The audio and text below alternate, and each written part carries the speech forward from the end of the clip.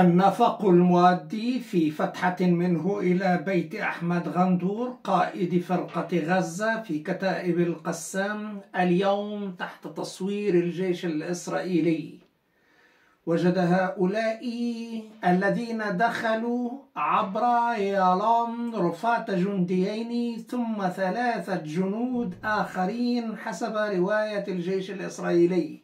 فهذا بئر متصل بنفق يتصل بفتحة ببيت أحمد غندور. وجدوا فيه رفات كل من الجنود زيف دادو ورون شيرمان ونيك بيسير وإيدين زكريا وآليا توليدانو. ويظهر أن البئر استحدث لهذا الغرض. أي مقابر لا يعبث بها أحد لهؤلاء المتوفين من اليهود إلى حين تبادل الأسرى وتبادل الرفعت لم يظهر الإسرائيلي ما يفيد كلامه رغم أن بعض الرفات لآخرين من المدنيين أخذ وقتا كبيرا لضبط الأديان وغيرها والتحليلات المصاحبة. لكن لأنهم جنود لديهم هذه الأمور في الداتا ولذلك فتحديدهم يظهر سريعا جدا والكشف عن الموتى من الجنود الأسرى يزيد من القول أن جيش إسرائيل ضحى بأسراه وما بقي منهم أيضا. أهلا وسهلا بكم في حلقة جديدة من أسرار شرق أوسطية. هناك اليوم موجة إسرائيلية يتأكد معها أننا أمام صورة من التضحية. هذه التضحية التضحية بالأسرى. وواقع الحال أن الجيش الإسرائيلي اليوم لا يأخذ بعين الاعتبار أسراه من الجنود الإسرائيليين خصوصا من الجنود. مسألة الحسم في قضية الجيش الإسرائيلي بالنسبة لأسراه لدى آه، كتائب القسام وباقي الفصائل أصبحت محسومة. إذ الأمر اليوم دينيا وأيضا هناك تأطير آه، إعلامي قوي بل هناك من الذين قتلوا أيضا برصاص الجيش الإسرائيلي أم دعت من هؤلاء الذين قتلوا إلى عدم التوجس وإطلاق النار. كما يرغب الجندي تماما حسب ظرفه النفسي وظرفه التكتيكي وهذا معناه أن الوضعية اليوم وضعية صعبة لسبب رئيس. لأننا نتحدث اليوم عن الصدمة الكبرى. الصدمة الكبرى أن هناك خمسة عشر جنديا قتل في 24 ساعة وهناك خمسة جنود رفات خمسة جنود أيضا من الأسرى لدى حماس وجد رفاتهم. كما ذكرت في وقت سابق فإن ما سمي بحاجز العشرين اليوم تحققت. أن لعشرين جنديا إسرائيليا وسيتحدث هيرتسوغ اليوم تحدث هيرتسوغ بعد وصول آه، الحصيلة إلى 15 و5 أي نتحدث عن 20 جنديا آه، ما بين قتيل في ال 24 ساعة وما بين خمسة آه، وصل إليهم الجيش الإسرائيلي وصل إلى رفاتهم إذا أمامنا هذا السقف الذي حدد في وقت سابق.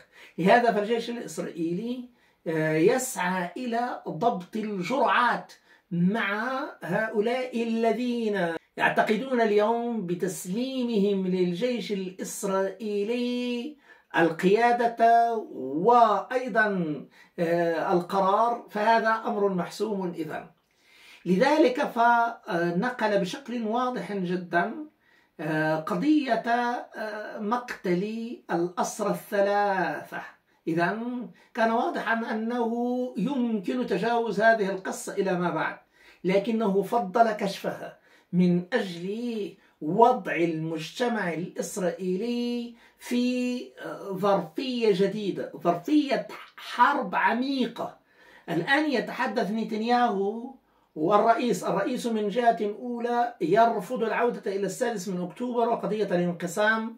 إذا الحرب يجب أن توحد آه، الشعب الإسرائيلي وتوحد إسرائيل. إذا هذه زاوية أولى.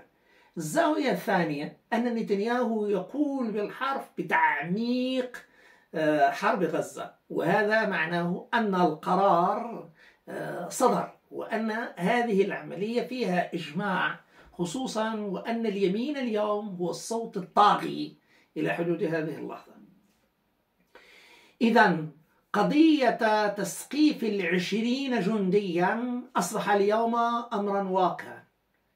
وتحدث كما ذكرت رئيس إسرائيل وتحدث الوزير الأول الإسرائيلي ذي السلطة التنفيذية. وفي الحالتين الأول يدعو إلى الوحدة والثاني يدعو إلى المزيد من تعميق الحرب. وتوسيعها أيضا. المسألة الثالثة أن اليوم لا أحد يتحدث سوى عن إعادة احتلال غزة. فمسألة آه، كل المشاريع الأخرى بالنسبة للأصدقاء بين قوسين والمقصود منهم الأمريكيون على وجه التحديد هذا أمر انتهى. وبالتالي فما يجري الآن هو محاولة لتقليل ما سمي بردود الفعل الأمريكية فقط. لم يهتم الآن الأمريكي إلا لما يسميه بالشرعية الدولية في إحدى الأوقات. لكنه تراجع عنها وترك للإسرائيلي ما يرغب فيه. ثاني مسألة أن آه، رد فعل محور المقاومة وبعد الذي أراده الآن الوزير الأمريكي وزير الدفاع الأمريكي هذا كله من أجل إعلان أن هناك تحالفا اليوم إلى جانب أمريكا وإلى جانب آه، إسرائيل وأن هذه الحرب ليست ضد إسرائيل وإنما ضد التجارة الدولية وكما قال تماما الناطق الرسمي آه، باسم البنتاغون. وتساءل إن كانت لديهم عيون كبيرة ترى ما لا يستطيعون هضمه. لأن الأمر يتعلق بمليارات مليارات الدولارات. إذا هنا العصب الحقيقي الأمر يتعلق باقتصاد. يتجاوز الأمتار أو الكيلومترات بالنسبة لغزة مثلا. قضية الأرض لكن بالنسبة للاتجاه الآخر الأمر يتعلق بمليارات مليارات الدولارات حسب نفس ما قال بالحرف.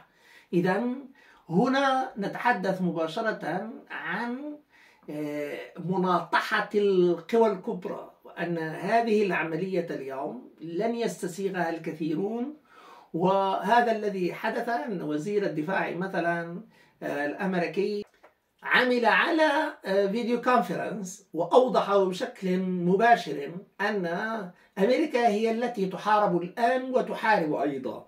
إذا هذه نقطة جوهرية إذ العملية الآن هي عملية أمريكية بيد إسرائيلية وأن آه، الضوء الأخضر لمواصلة الحرب أتى من الأمريكيين. والأمريكيون هم الذين اليوم يرغبون في مواصلة هذه الحرب وأن إعادة احتلال غزة الآن قرار أمريكي حسمه البنتاغون وأصبح يرى آه، الأمر كذلك. والخلاف الذي كان في وزارة الخارجية بعض الخلافات في وزارة الدفاع كل هذا حاول أن يقضي عليه بايدن. فيما من الاتجاه الآخر هناك تسوية. إذا مسألة أن يتجاوز في الأيام القادمة. آه، ثلاثين ثلاثين قتيلا إسرائيليا وأن تعلن آه، هذه المحصلة وأن يقتل أيضا المدني فهذا أمر أيضا تجوز والمدني من أسرى حماس. هذا معناه أن الكل الآن يمكن أن يكون ضحية هذه الحرب.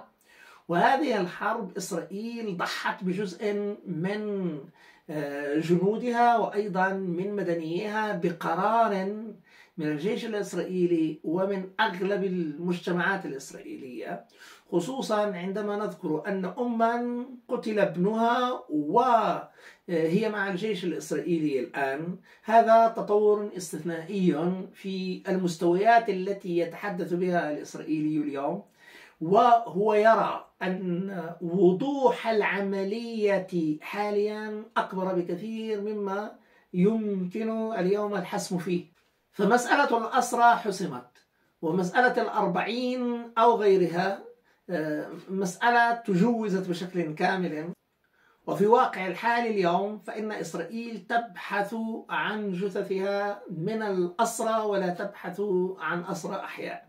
وهذا هو التطور الرئيس الذي تأكد الآن مع أكثر من إشارة للرئيس للوزير الأول وأيضا لباقي هذه الحكومة وسكت لبيد بشكل نهائي لأن الولايات المتحدة الأمريكية آه، ليست معه على الخط. ومواصلة العملية الآن باتجاه السحق الجاري في خان يونس يريد الأمريكيون وصوله إلى نهايته إذا الأمر هنا حسم مع بايدن وليس مع طرف آخر.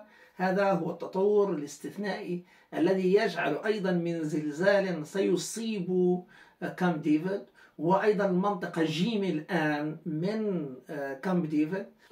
بعودة الجيش المصري إلى المنطقة باء وترك جيم من دون تواجد لهذا الجيش. إذا هذه تطورات قد تغير الخرائط بشكل نهائي وقد تهدد أيضا بتغيير أنظمة في المنطقة. هذا هو المحتمل الآن لأن اللعبة المخيفة اليوم عند البعض أن ما بعد حماس هناك جيش مصري يجب أيضا أن يفرط عقده. هذا بالنسبة للمتخوفين وبالنسبة لاستراتيجية الدول فإن مصر الآن تستطيع أن تضحي بجزء من سيناء كي لا يصلوا إلى السويس وما دام أنهم يرغبون في اللعب على هذه آه، الحرية في قلب باب المندب فهم أيضا وكما قال وزير الدفاع فهذا كله سيسري على باقي المنافذ وهذا يعني أن السويس مستقبلا.